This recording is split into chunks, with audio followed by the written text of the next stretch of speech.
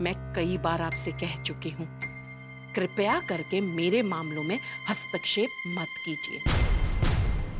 ये मेरे और मेरे बच्चों के बीच का मामला है मैं खुद संभाल लूँगी इसे।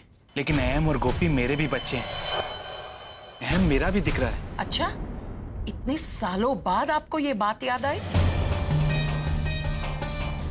मुझे ये सबके सामने कहते हुए बहुत तकलीफ़ हो रही है लेकिन सच तो यही है कि मेरे मेरी लाख कोशिशों के बावजूद भी अहम आखिरकार आप पर ही गया। कोकी तो ये बातों को घुमा फिरा के कहाँ लेकर जा रही है? कोकिला बस भी करो। माफ़ कीजिए मोटा भाई लेकिन आज आप अपने भाई का पक्ष मत लीजिए। कोकिला क्या गलत कर रही हूँ मोटा भाभी मैं? आखिर अहम अपनी ज़िम्मेदारी से भाग ही रहा है ना? इनकी तरह? मैं आज की बात कर रहा हूँ कोकिला। अहम और गोपी के साथ तुम जो कुछ भी कर रही हो ना एकदम गलत है। अरे दोनों बच्चे आपस में बातचीत करके अगर समस्या को सुलझा सकते हैं तो सुलझा लेने दो। अब क्या बचा है? मैं अपना फैसला ले चुकी हूँ। नहीं ले सकती तुम अपना फैसला। क्यों नहीं ले सकती हूँ मैं? जब पिता और पुत्र फैसला लेने में सक्षम नहीं है तो मैं फैसला ले चुकी हूँ। मैं कह रहा हूँ कोकिला। नहीं।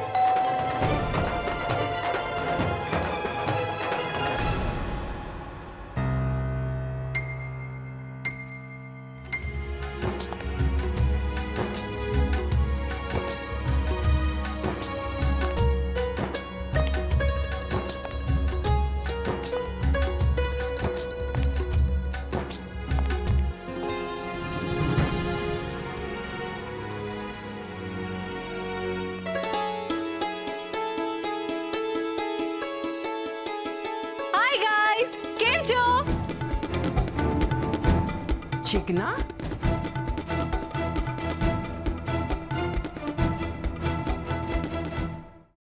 चिकना?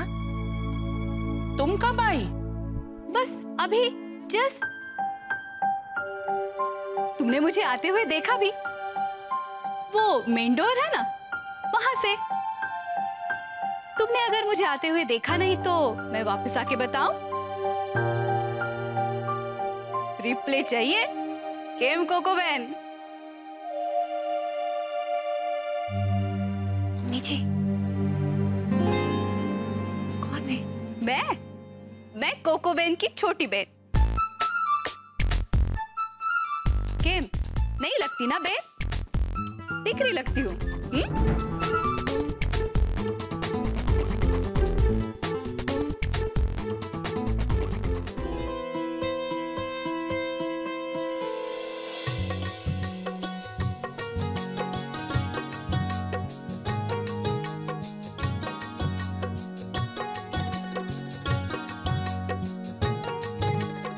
मेरी गोपी बहू है और ये राशि।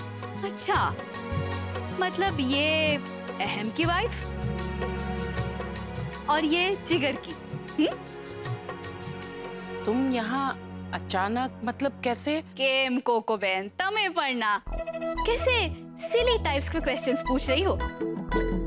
ओह my god my darling sis I missed you so much क्या कोको बहन तू और भी फिट हो गई है। मैं तो तुझे ठीक से हक भी नहीं कर पाई।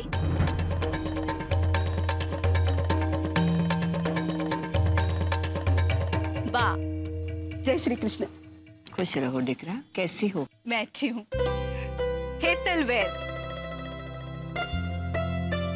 आप तो बिल्कुल वैसे के वैसे ही है। जी जाजी। जय श्री कृष्ण। श्री कृष्ण कैसे हो आप? मजामा अब वैसे एक बात बताइए जीजा जी। ये कोको बहन अभी आपसे इतना शाउट करके बात क्यों कर रही थी?